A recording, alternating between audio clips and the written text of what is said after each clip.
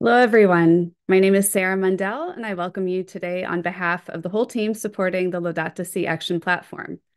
We're always so inspired to be connected with all of you from around the world, knowing that there are so many people and organizations who are interested in putting integral ecology into practice in our daily lives, whether as individuals, dioceses, religious communities, or other organizations and institutions. I invite you to introduce yourselves if you haven't yet in the chat with your name, your country, and your diocese or organization. I'm calling today from Indianapolis, Indiana, in the United States, acknowledging that my city is located on the traditional and ancestral territory of the Miami, Potawatomi, and Shawnee people. We honor the heritage of Native peoples throughout the world, what they teach us about the stewardship of the earth, and their continuing efforts today to protect our planet. So feel free to honor those Native peoples who call or have called your lands home by naming them in the chat as well. The Laudato Si Action Platform is a program of the Vatican's Dicastery for promoting integral human development, supported by the Laudato Si movement as its global operational partner, and built together with the input and contribution of many organizations around the world who are working with us to foster a culture and practice of integral ecology. And many are present here today.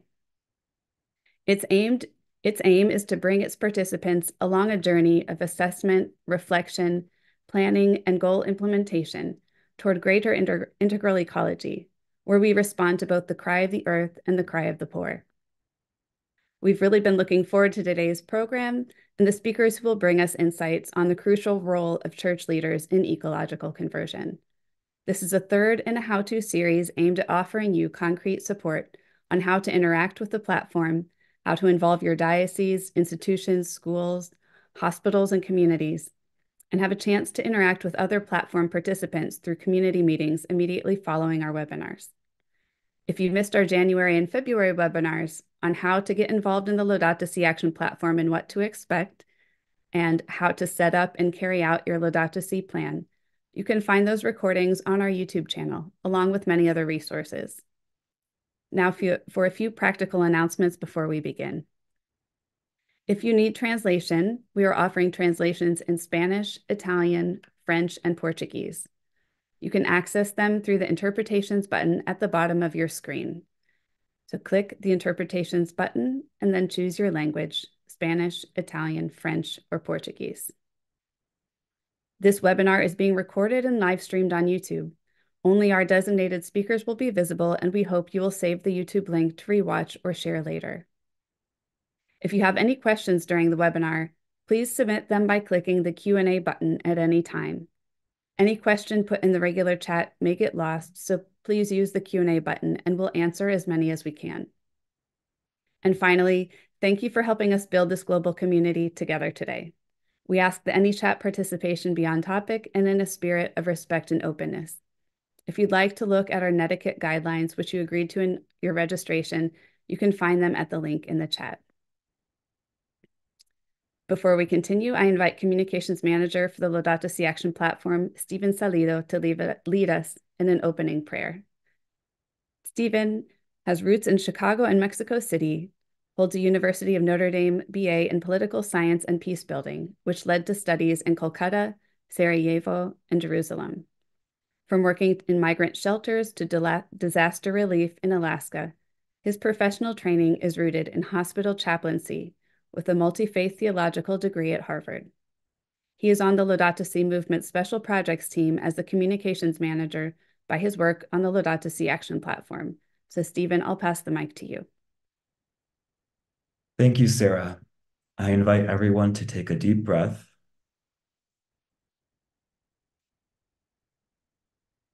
And in the name of the Father, the Son, and the Holy Spirit.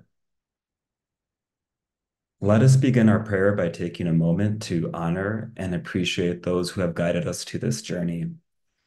As we take this time to reflect, let us remember the people who have inspired us into inspiring others, supported us into supporting others, and loved us into loving others. I invite everyone to take one silent minute to remember these people.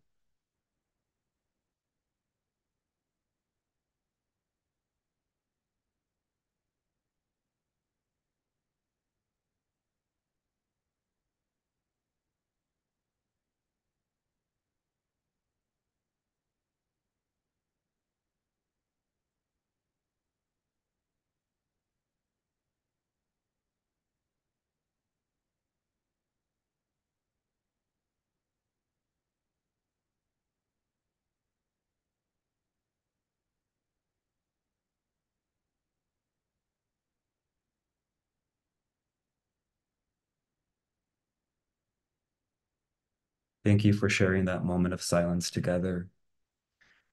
In this moment, we express our deepest gratitude for those who have led with kindness, inspired with their actions, and loved us as a community.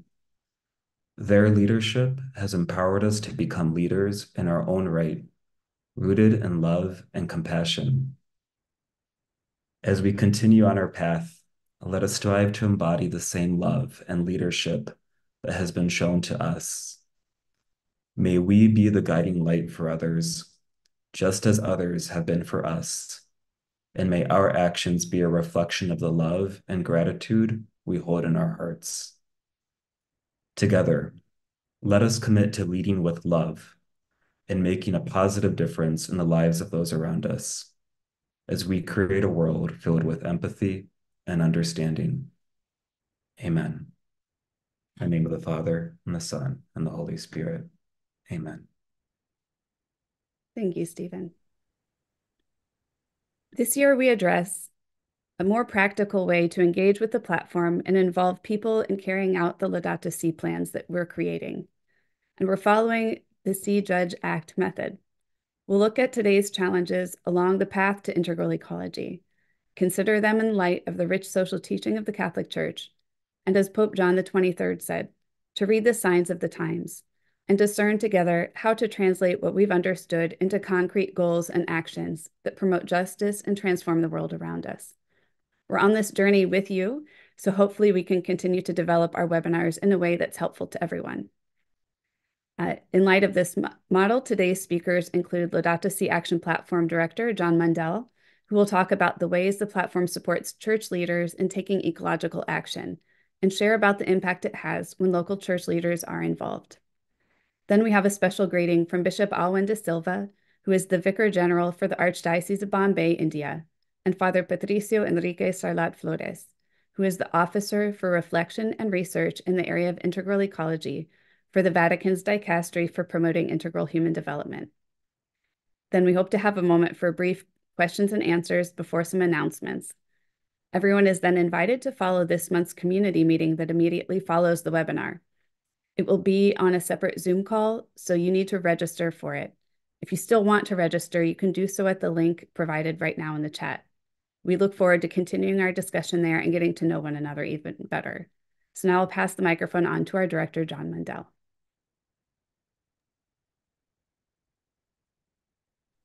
Greetings, everyone.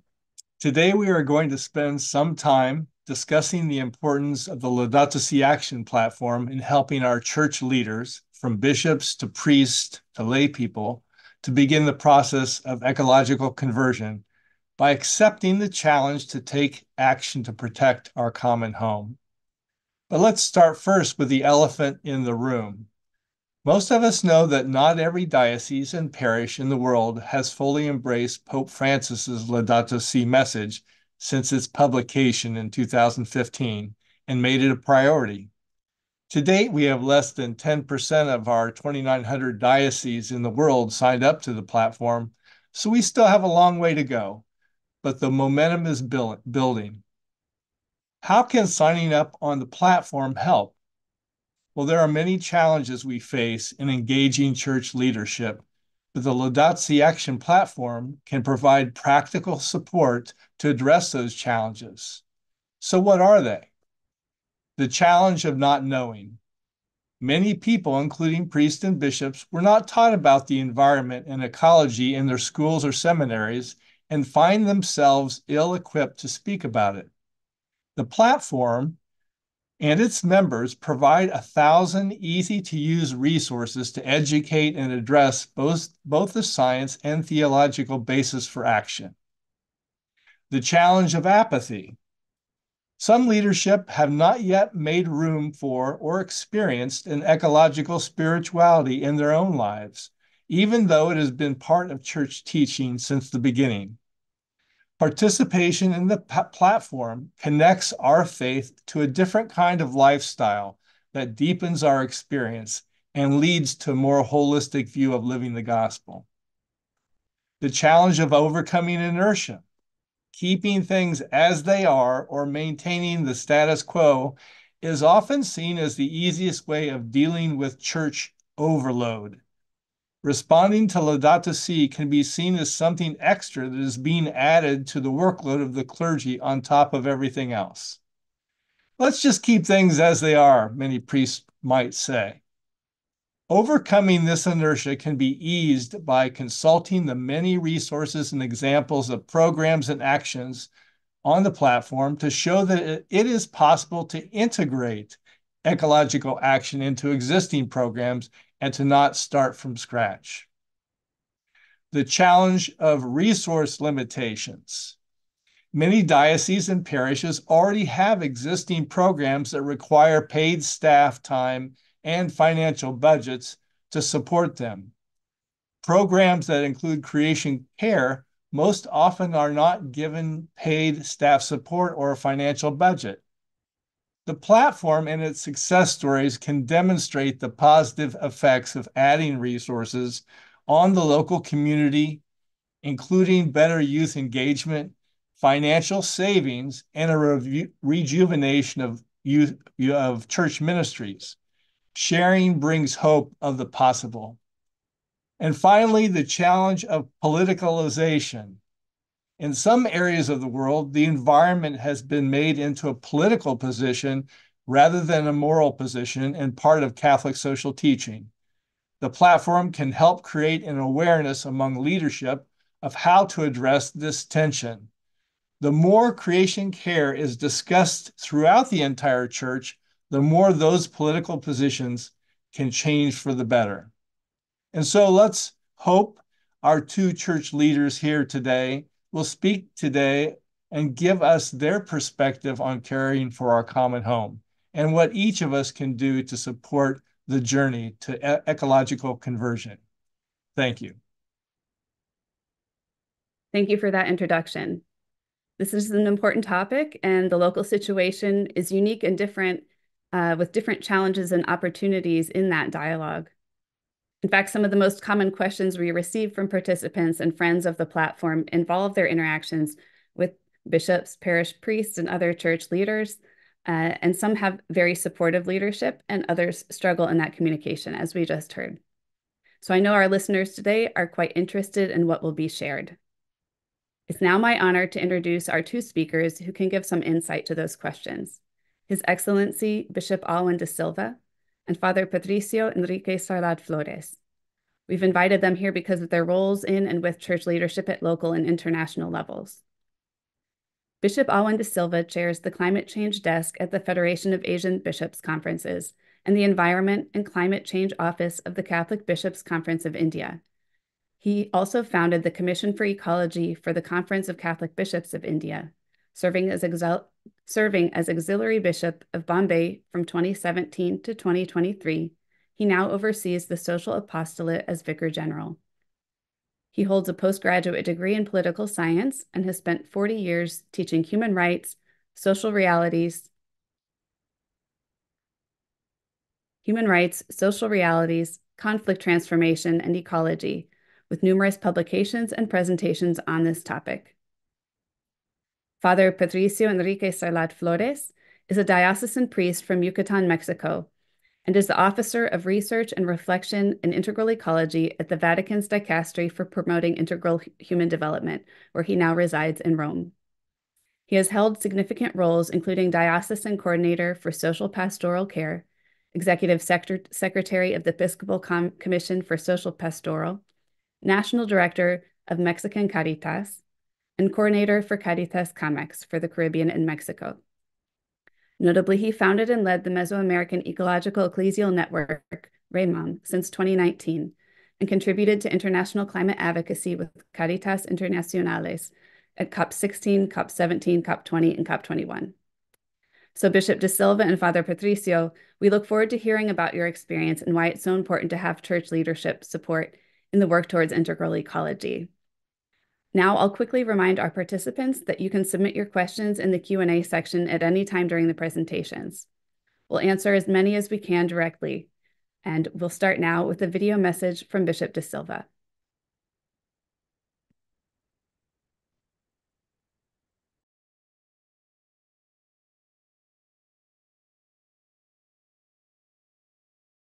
Dear friends of Mother Earth, greetings of peace and hope to all of you.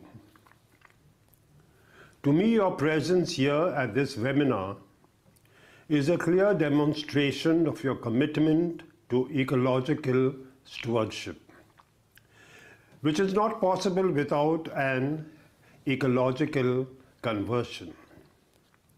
Therefore, in my sharing, I would like to focus more on leadership. So, my dear friends, what is leadership? Once during the induction of parish priests, I quote a paper which states that leadership, like beauty, is difficult to define. We are in the digital age and we find out what we want to know by going online. So if you search online for leadership definition, the search engine will give you multiple similar but no universal result. However, though it is difficult to define leadership, I think you will all agree that good leadership is easy to sense. We can discern fairly easily whether a person is a good leader or not. And in the absence of good leadership, something feels amiss. This is because good leader is one who inspires trust and changes people and the environment, be that of an organization, a parish, a congregation, a diocese, a country, or any group or institution.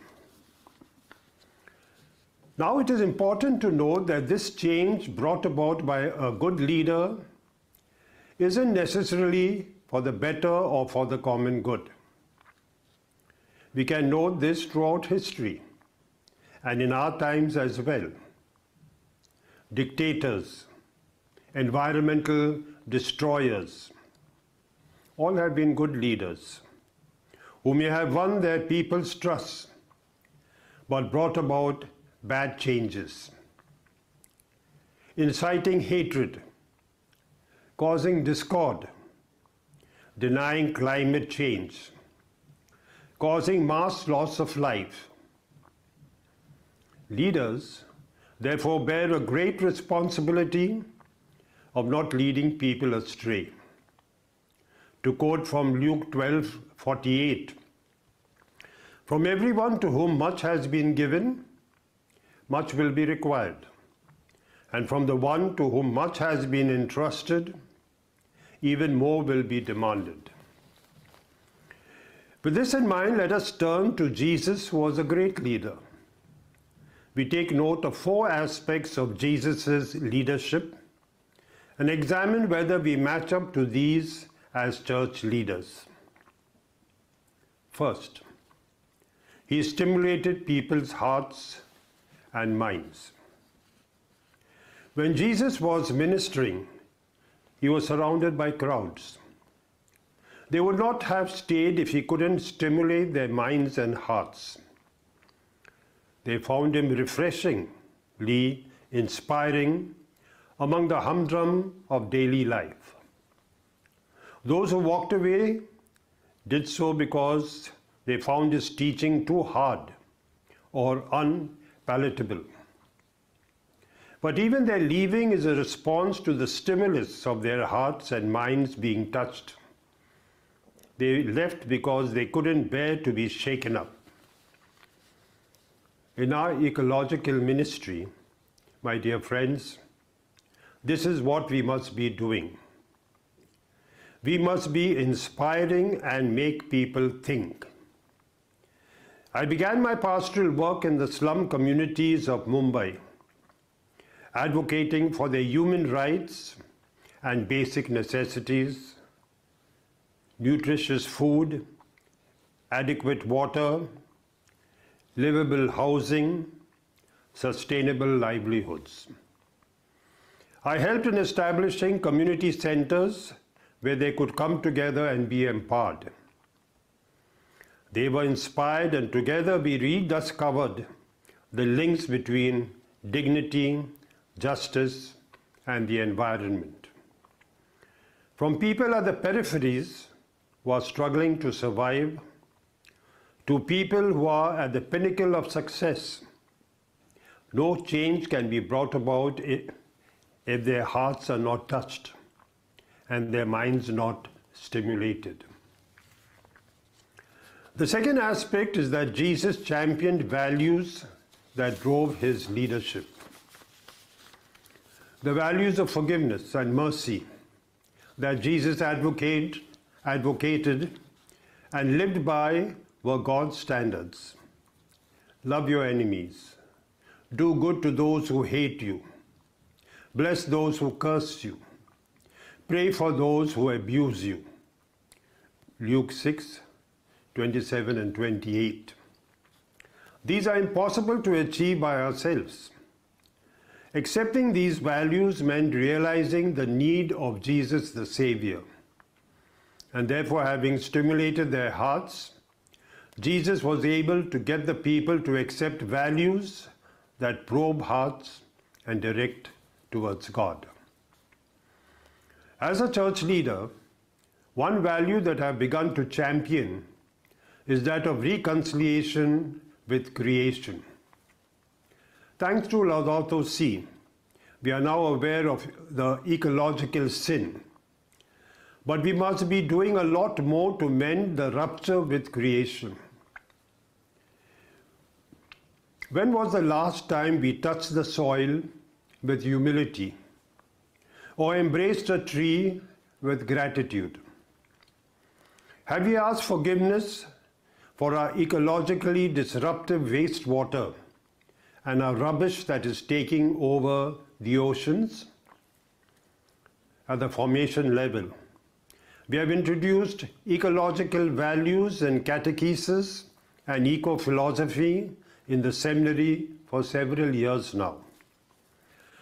The Archdiocese Office for Environment in Mumbai conducts a, certific- a certificate course for eco ambassadors every year, while the Laudato Si movement has its animators program.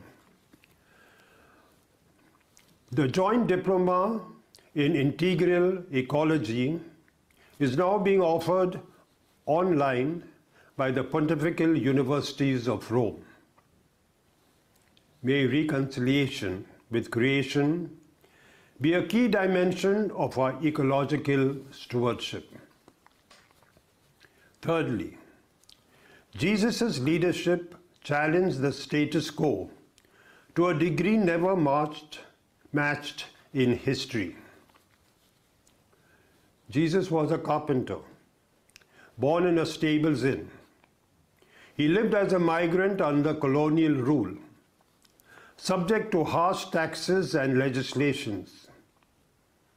He had a ministry of only three years before being sentenced to a criminal's gruesome death by crucifixion. He was buried quietly in a borrowed tomb. Despite all this, he was able to amass followers, call out religious hypocrisy, perturb authorities, and inspire a revolution of the heart that continues well over 2,000 years later.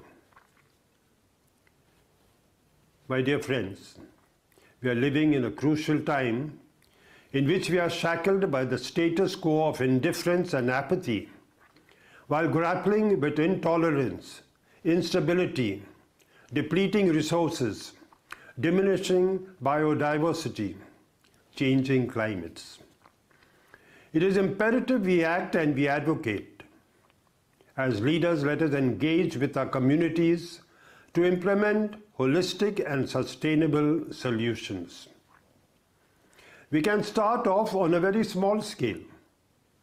I'll give an example from the last decade.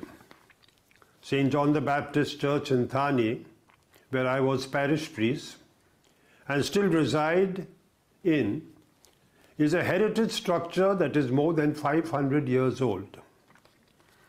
When we restored the church, we were one of the first parishes to install a high volume, low speed, low speed fan. Known for energy efficiency, enhanced thermal control, and noise reduction benefits. Several parishes in the diocese went on to do as well. When it comes to advocacy, while we must be prudent and, conscious, and cautious, it is here where we can have and make our impact. For example, you do not know whether my lifestyle is sustainable or not, but my support for the Laudato Si movement's fossil fuel non proliferation treaty is in the public domain.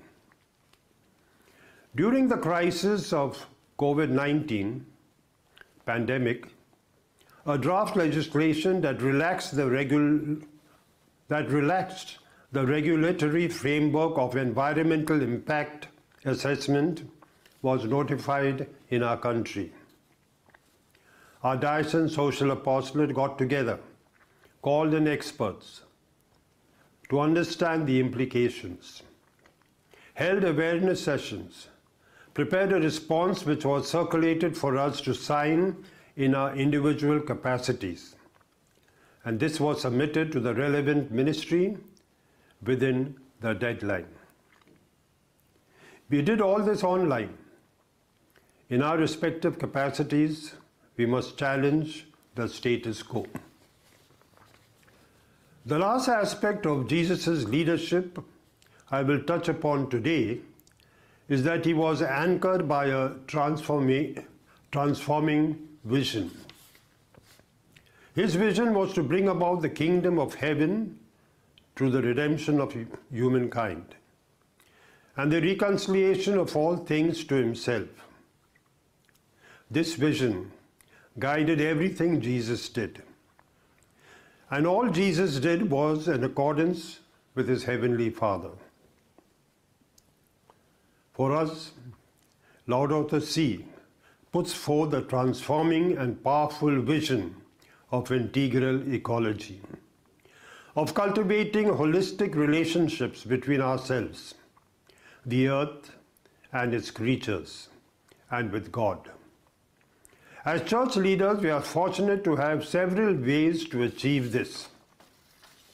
The guidance of the Laudato Si Action platform is, is offered to us freely.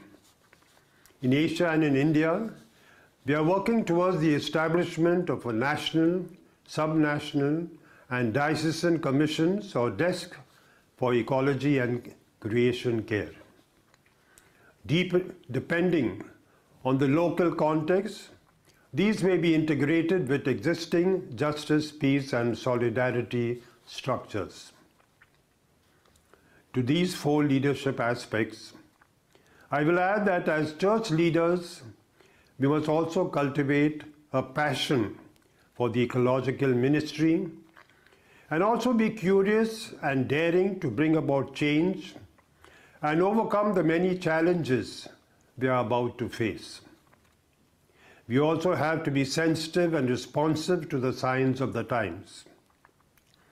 Again, during COVID lockdowns, we could not get together. In 2021, I launched a pan Indian ecological movement that would help people to journey together online while sharing of their own local ecological initiatives. Once the pandemic eased, we had two in person gatherings, and now the movement is transitioning into being a youth led and eventually secular. My sharing would be remiss if I do not talk about the challenges of human and financial resources. I have been fortunate to know key people in Misereor and CAFOD who share our ecological vision and fund our efforts. While we also work towards budgeting for creation care from within the country and our dioceses, as a leader and presbyter, I am blessed to have my ministry supported by the talents of the local church. I need people of science to assist in shaping my ecological response. And I have a qualified subject matter consultant on my staff.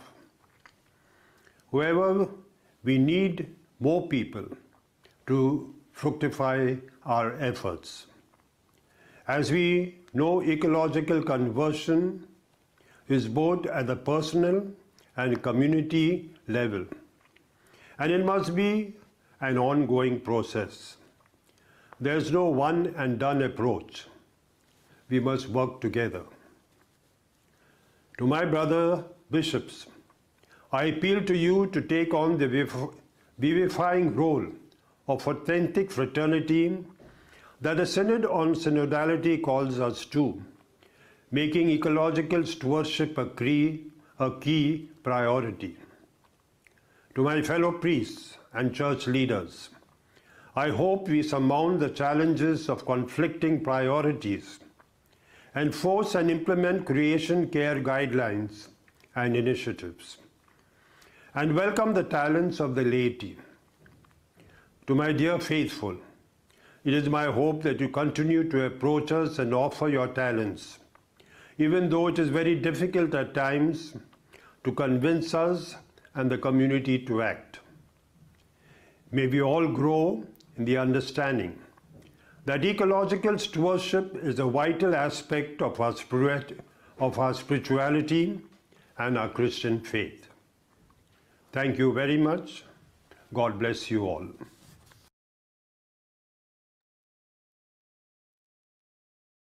Thank you, Bishop D'Silva, for your message. Uh, your words encouraging us to have passion, to be curious, to recognize ecological stewardship as a vital aspect of our faith and as our, our practice um, is so important and is give, and gives hope for the journey. Now I'm going to invite Father Patricio to share some insights from his perspective at the Vatican Dicastery for Promoting Integral Human Development. A note for translations, Father Patricio will speak in Spanish. So our English and Spanish speakers will need to make a temporary technical change. Spanish speakers, please go down to the interpretations button and choose the off option so you can come to the main listening room. And our English speakers, go down to the interpretations button and choose the Spanish option to hear the English translation, just for this moment of listening to Father Patricio, and then you can return to our main room. So, bienvenido, Padre Patricio. Gracias. Muchas gracias. Bueno, pues envío un saludo afectuoso desde el Dicasterio para el Servicio del Desarrollo Humano Integral aquí en, en Roma. Y la intervención que quiero hacer, saludo a todos los presentes, veo que hay muchas personas de muchas partes del mundo, así que buenos días, buenas tardes o buenas noches, según en la latitud del mundo que se encuentren pero unidos todos en la fe y unidos también con este deseo de llevar un mundo mejor. Eh, sobre el tema que me han pedido, yo quisiera tocar siete puntos. El primer punto es sobre la noción de la conversión ecológica que el Papa Francisco explica abundantemente en Laudato Si a partir del número 216. Eh, habla ampliamente en el capítulo sexto, eh, a partir del número 216, de la conversión ecológica. Entiendo que el tema de la conversión tiene que ser con referencia a Cristo el Señor. Nuestra centralidad en el encuentro con Jesucristo, el Hijo de Dios. Y el Catecismo de la Iglesia Católica habla de un pecado ecológico que es la ruptura de la armonía creada por Dios. De eso vamos a hablar hacia el final de esta exposición. Solamente quería ponerlo como telón de fondo, porque el tema es el papel crucial de los líderes de la iglesia en la conversión ecológica. Por lo tanto, cuando se habla de conversión de este pecado ecológico, estamos hablando de una revisión de nuestras relaciones. En el fondo es un tema de relaciones. Nuestra relación con Dios como Padre, nuestra relación con los demás como hermanos, hermanas y hermanos, la fraternidad y la relación con los bienes, con, los, con lo creado, con la creación, con lo que Dios vio que era muy bueno y puso en las manos del ser humano para que convivamos con la creación en esta interdependencia y con esta corresponsabilidad o responsabilidad nuestra.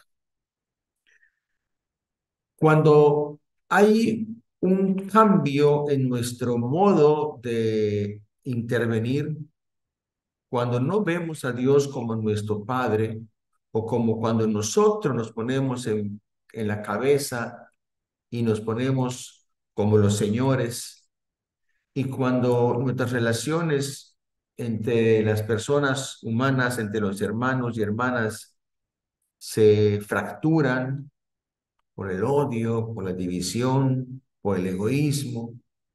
Y cuando nuestra relación con la creación es una relación de abuso, es una relación de consumismo, es una relación de voracidad, entonces podemos decir que estamos rompiendo la armonía creada por Dios y entonces estamos hablando de un pecado ecológico.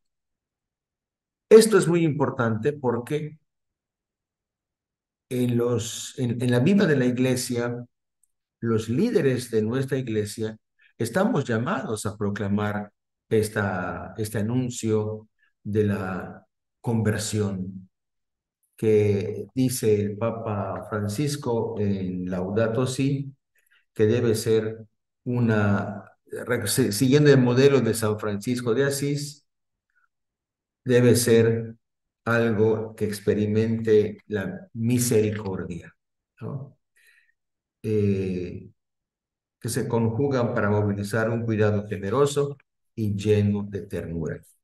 Bueno, esto lo que lo quiero poner como, como primer punto. Insisto, al final voy a, regresar a este tema.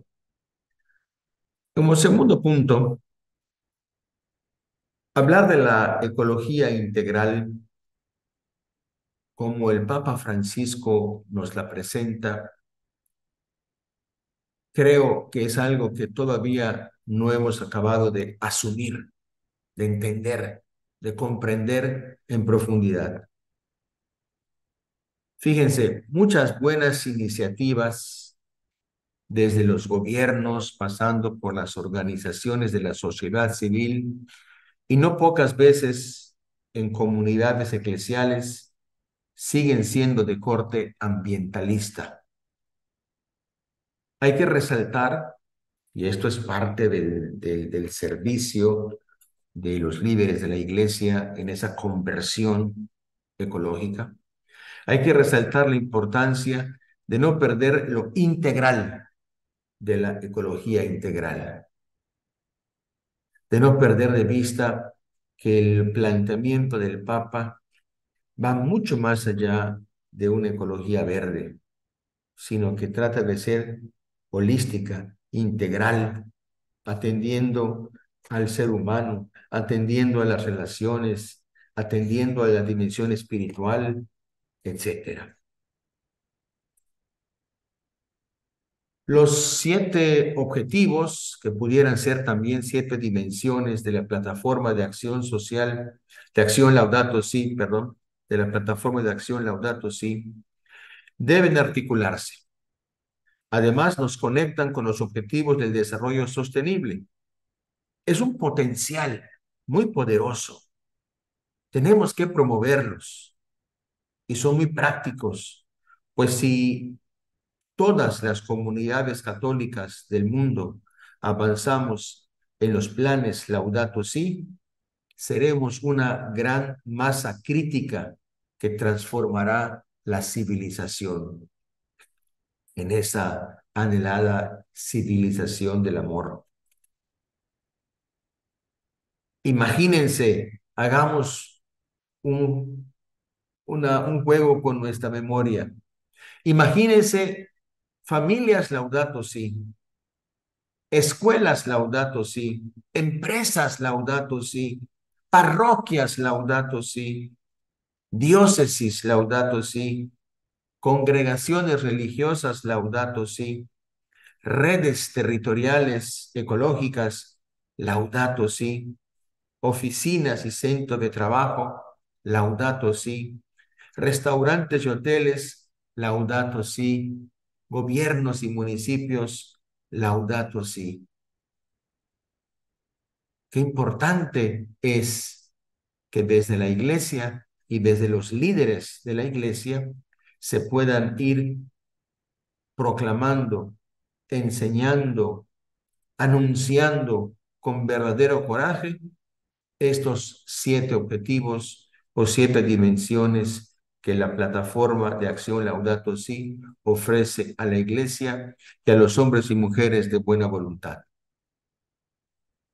Esto lleva mucho a una conversión ecológica, lleva mucho a una manera distinta de relacionarnos, o mejor dicho, nos ayudaría a relacionarnos como en el origen.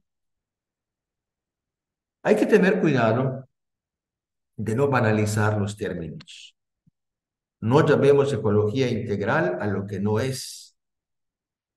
Esto debe ser, este debe ser el gran servicio de la iglesia al mundo. Este debe ser el gran servicio de la iglesia a los líderes de las naciones y al mismo pueblo de Dios. El cuidado de la casa común no es solo una causa ambientalista o tecnocrática, sino una visión más holística, más integral, más humana, más espiritual, es un asunto de ecología integral. Solamente para recordar, porque seguramente ustedes ya los conocen, los objetivos Laudato sí, que pueden ser también dimensiones de la vida eh, y de esta integralidad. Respuesta al clamor de la tierra, respuesta al clamor de los pobres, economía ecológica, adopción de estilos de vida sostenibles, educación ecológica, espiritualidad ecológica. Y resiliencia y empoderamiento de la comunidad. Como está escrito en la plataforma la, de acción Laudato Si, estos siete objetivos brindan orientación sobre acciones urgentes e inmediatas que cada uno de nosotros puede tomar en el cuidado de nuestra casa común. Todos nosotros podemos cooperar como instrumentos de Dios para el cuidado de la creación. Cada uno según su propia cultura, experiencia, implicaciones y talentos, como nos recuerda Laudato Si número 14. Tercer punto, el poder. Hablamos de los líderes de la iglesia. Y hablamos también de los líderes en general, pero aunque ese tema está enfocado en los líderes de la iglesia, también aprovecho para hacer mención a los líderes de la comunidad mundial. Y un líder tiene poder. Y Jesucristo el Señor en el Evangelio nos enseña que el poder es para servir. Lo que exigimos, lo que le exigimos a la ONU, debemos vivirlo sinodalmente en nuestras jurisdicciones eclesiásticas, en nuestras congregaciones religiosas, en nuestras comunidades católicas. Somos discípulos misioneros de aquel que no vino a ser servido, sino a servir.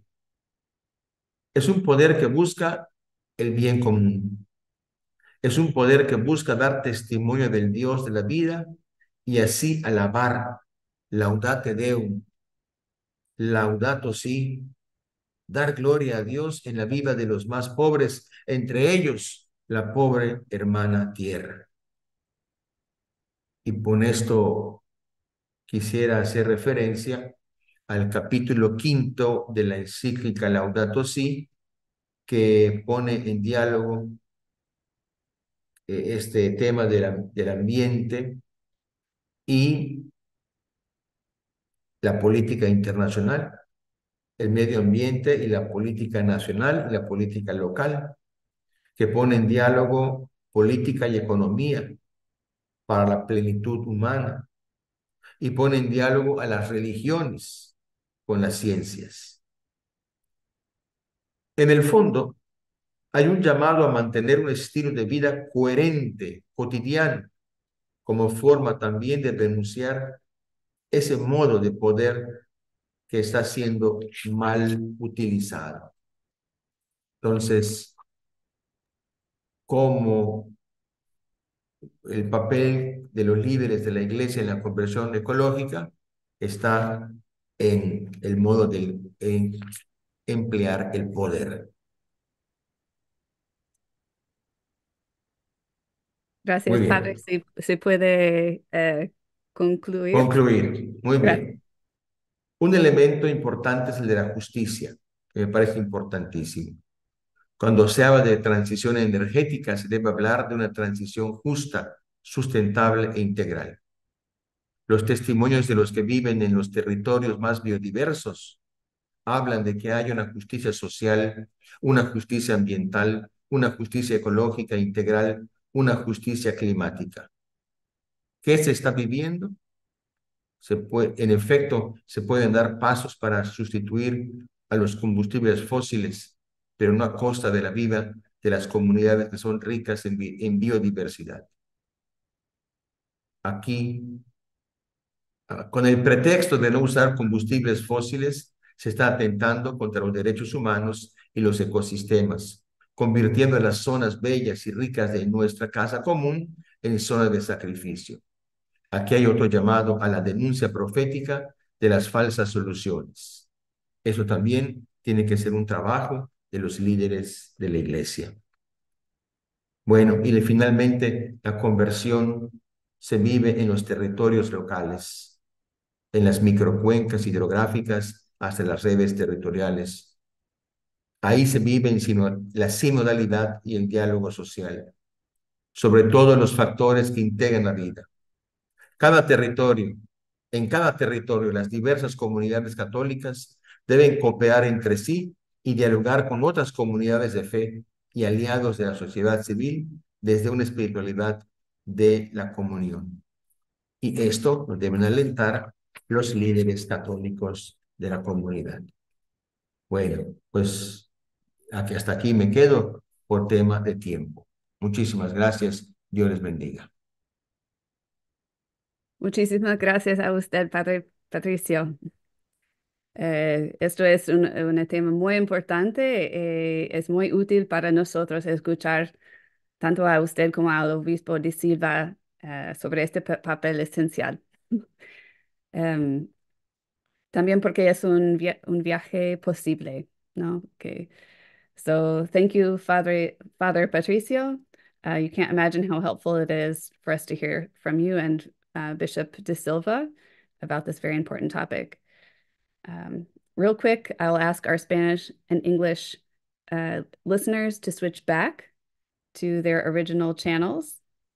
Uh, English speakers going back to the off channel and Spanish speakers going back to the Spanish interpretation channel. Um, we tried to answer many questions during this time. Um, for sure, this is just the beginning of a discussion. And uh, especially some of you had some very good tips and practical ideas also about how you are trying to dialogue with your church leaders where you're at and also sharing some of the challenges. So if you can and are able to join us in this next uh, half hour, 45 minutes for the community meeting coming up, please do go to, we'll put that link in the chat here again soon. Please do join us for that time where you'll have time to talk with other participants about uh, how you are facing this, uh, facing and working with church leaders. Uh, real quick, um, thank you again today, everyone who was here, our translators and our technical team, all of you who joined from around the world. If you have not signed up to the Laudato Si Action platform yet, or you would like to receive our newsletter, please do that by visiting www.laudatosiactionplatform.org. Uh, participants, current participants, please don't forget you can always upload your new version of your plans. Uh, we can now upload more than one calendar year so you can keep track of your progress. Uh, as uh, was mentioned before, there is the continued course on integral ecology from the Pontifical Universities. Um, and so if you Google, I'm sorry, this will be quick, online course on integral ecology from Laudato Si to Laudate Deum. Uh, you can still join that course and uh, we'll send that out in the thank you note as well. So again, once again, if you want to join our community meeting, uh, please uh, join us. It's a separate link that you've received in a separate email from Zoom. And if you still would like to join us and haven't registered, you can at the link in the chat. We will begin in about 10 minutes and we look forward to seeing you there. Finally, one last note. Uh, our next appointment is on April 4th for next month's webinar, and the topic will be practical tools to implement Laudate Deum. And our speakers will be telling what they are doing in their local areas to put that into practice. So on April 4th will be our next webinar. Look out for news in your inbox. Thanks once again, everyone, for joining us, and hope to see many of you soon in the community meeting. Have a great rest of your day.